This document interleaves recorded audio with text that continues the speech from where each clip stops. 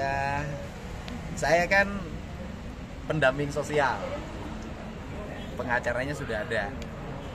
Dari aspek sosial yang saya temukan ketika saya keliling di Cirebon bertemu dengan berbagai pihak terutama cerita bahwa malam minggu mereka sebelum maghrib nongkrong dulu di depan SMP 11 setelah itu pulang ke rumah setelah itu minum ciu ya ciunya dibelikan oleh Abdul Kahfi anaknya Pak RT Pasren dan Jaya di warung Bu Nining. Setelah itu di, diusir oleh Bu Nining karena bikin berisik bikin ribut pindah ke rumah Hadi. Setelah di rumah Hadi itu mereka kemudian nginep di rumah anaknya Pak RT Pasren ya persis. Mereka kan di dalam.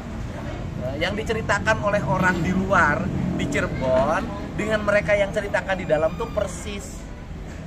Peristiwanya bahwa pada malam minggu itu mereka berada pada kegiatan yang saya ceritakan tadi. Kemudian eh, untuk saksi AF nah AF ini kalau sama mereka itu mungkin tahu muka tapi bisa tahu nama satu-satu yang pertama.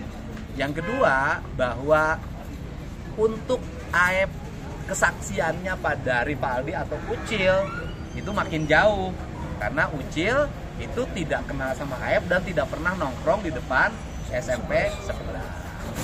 Kemudian peristiwa yang menarik lainnya adalah Abdul Kahfi pada saat penangkapan tidak ditangkap tapi hanya diberi tugas untuk naik motor, mengantar motor ke Polres. Itu cerita mereka gitu. Nah cerita itu saya lihat disampaikan pada wajah jujur dan kalau saya mau ngomong nih di antara mereka itu yang tadi saya temuin itu yang punya wajah nakal ya nakal bukan berarti membunuh loh yang nakal itu. Nakal itu cuman Ucil atau Rivaldi dan yang ngakuin kan suka berkelahi. Dan kemudian Rivaldi itu waktu itu ditangkap dalam kasus membawa senjata tajam dalam bentuk senjata tajamnya jenisnya mandau. Jenisnya mandau bukan samurai. Gitu loh dan senjata mandau itu dijadikan barang bukti ya? Yang disebut dalam BAP adalah samurai. Saya nggak tahu apa perbedaan mandau dengan samurai sehingga jaksa polisi jaksa hakim waktu itu tidak bisa me- mengkategorikan jenis senjata tajam. Bedakan. tidak bisa membedakan mana mando yang mana samurai. Sepengetahuan saya samurai dari Jepang. Kalau mando mah dari da Dayak. Ya pak? Iya. gitu